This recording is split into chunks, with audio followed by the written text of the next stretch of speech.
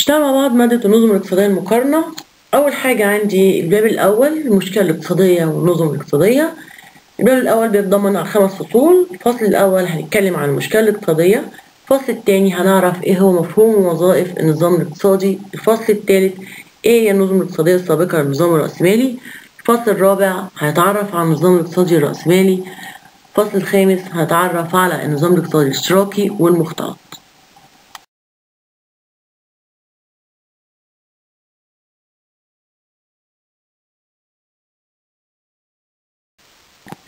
نبدأ الفصل الأول. إيه المشكلة الاقتصادية؟ الفصل الأول عندي بيتكلم عن المشكلة الاقتصادية المشكلة الاقتصادية تكمن في إيه؟ في إن أنا الحاجات بتاعتي متزايدة والموارد عندي محدودة. فبتبدأ تظهر المشكلة الاقتصادية لما الإنسان ما بيقدرش إن هو يشبع حاجاته المتعددة بالموارد المحدودة بتاعته.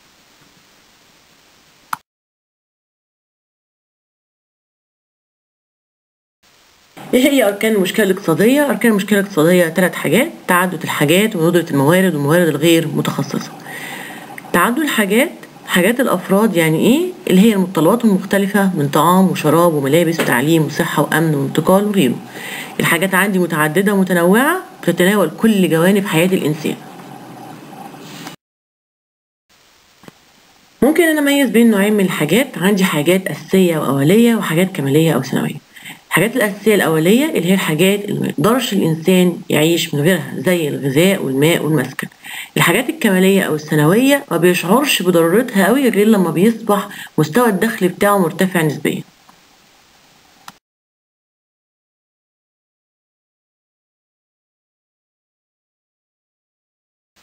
تاني ركن من أركان المشكلة الاقتصادية ندرة الموارد. يعني إيه مورد؟ المورد هو مجموعة الوسائل اللي بتستخدم في عملية الإنتاج عشان تلبي طلبات أو احتياجات الأفراد.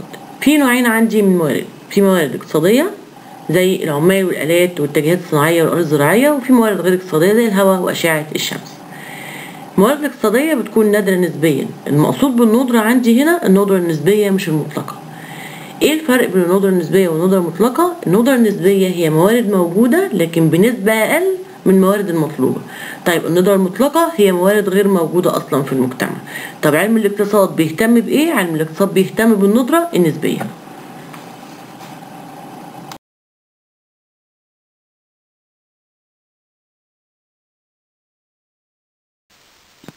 تالت ركن من أركان المشكلة الاقتصادية الموارد غير المتخصصة موارد غير متخصصة يعني موارد متاحة وبتصلح لأكثر من استخدام واحد زي الأرض تصلح للبناء وتصلح للزراعة.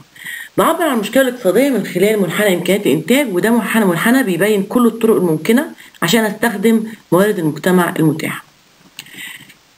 تاني نقطة عندي هنا منحنى إمكانيات الإنتاج. بيوضح منحنى إمكانيات الإنتاج أقصى كمية ممكن إن أنا أنتجها من سلع وخدمات مختلفة في الاقتصاد وذلك باستخدام الموارد الإنتاجية المتوفرة وباستخدام التقنية المتوفرة. وده دلوقتي جدول منحنى إمكانيات الإنتاج أو جدول إمكانيات الإنتاج. هو بيوضح اختيارات متعددة لإنتاج سلعتين س وص.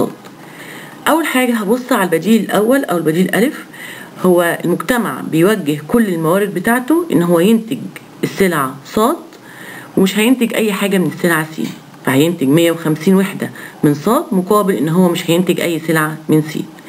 طيب ننزل البديل السادس نشوفه كده. هيوجه كل موارد المجتمع إن هو ينتج السلعة السين ومش هينتج أي حاجة من السلعة صاد. النظام عندي بصفر. الحالتين دول هما حالتين غير واقعيين أصلا لأن المجتمع عندي بيقسم موارده بين إنتاج السلعة س أو صاد.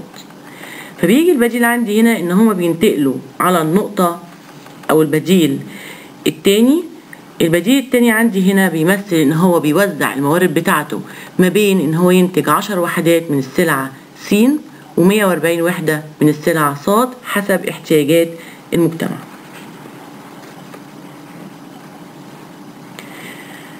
فنبص نلاقي هنا إن انتقال المجتمع من البديل الأول للبديل السادس من ألف لواو ده معناه إن أنا بزود إنتاج السلعة س وبقلل إنتاج السلعة ص طب لو انتهى المجتمع من البديل السادس للبديل الأول ده معناه إن هو بيزود إنتاج السلعة ص وبيقلل إنتاج السلعة س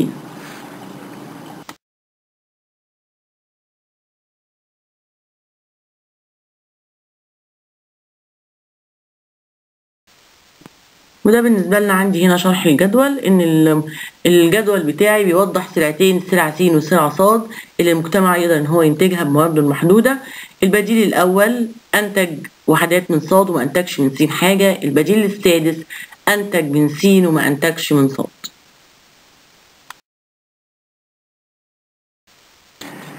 باستخدام بيانات الجدول ممكن إن أنا أقدر أرسم منحنى إمكانيات الإنتاج. طيب منحنى إمكانيات الإنتاج عندي أهو. أي نقطة بتقع على منحنى إمكانيات الإنتاج ده بتمثل إن ما يستطيع المجتمع إن هو ينتجه بموارده المحدودة اللي هو استخدام كامل لموارد المجتمع طيب النقطة اللي واقعة داخل المنحنى زي النقطة ي ده معناها إيه؟ معناها إن هو إنتاج غير مثالي مفيش استخدام أمثل أو عدم استخدام أمثل لموارد المجتمع طيب النقطة نون. النقطة نون هي وقع خارج المنحنى ودي بتكون إنتاج غير واقعي لأن المجتمع بقى عندي ما يقدرش يوصل ليها إلا في حالة إن هو يزود الموارد بتاعته أو يزود التكنولوجيا اللي بيستخدمها. فأنا عندي هنا نقطة ب وج ودال وه هي بتمثل إيه؟ النقط اللي وقع على منحنى امكانيات الإنتاج بتمثل الإنتاج الأمثل في ظل الموارد المتاحة. النقطة إيه هي إنتاج غير أمثل. نون انتاج غير واقعي ويتطلب الوصول إليها إن أنا أزود التكنولوجيا.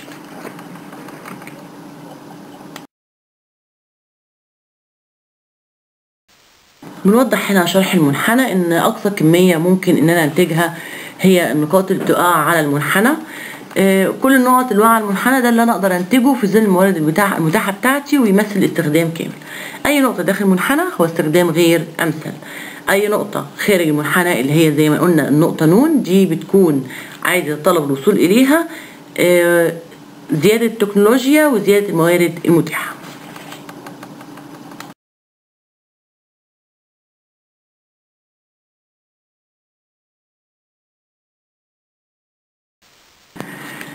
نشوف الفصل الثاني بيتكلم عن مفهوم ووظائف النظام الاقتصادي. وظائف النظام الاقتصادي الوظيفة الأولى بيقول إن ماذا أنتج وكم ننتج. الوظيفة الثانية كيف ننتج. الوظيفة الثالثة لمن يكون الإنتاج. الوظيفة الرابعة إن هو يحافظ على الطاقة الإنتاجية وينميها بما يساهم بتحقيق النمو الاقتصادي.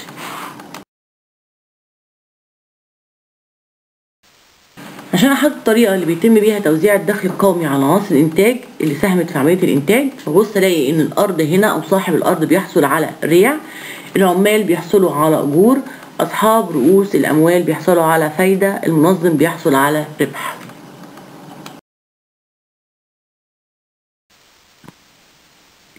آخر حاجة عندي في محاضرة النهارده عايزة أعرف إيه هو تعريف النظام الاقتصادي. تعريف النظام الاقتصادي هو مجموعة من الأفكار ومبادئ تعمل على تسيير أجزاء النشاط الاقتصادي. تتناسق معا وتترابط جميعا باللي يخليني أقدر إن أنا أحقق أهداف النشاط الاقتصادي على المستوى الكلي وعلى المستوى الجزئي.